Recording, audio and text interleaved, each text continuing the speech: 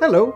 Thank you for purchasing This Blows with Professor Stanley Chartreuse III. That's me. It is my honor to teach you how to play the horn. In this lesson, we will learn how to use the lippy hole. Turn to page one in your sheet music and we will play Hot Cross Buns. Place your lips upon the lippy hole.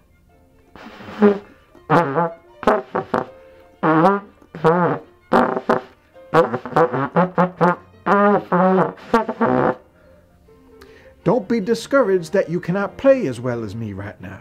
You will learn. Thank you for watching this episode of This Blows.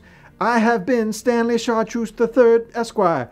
Please join me next time where we will learn all things horn related.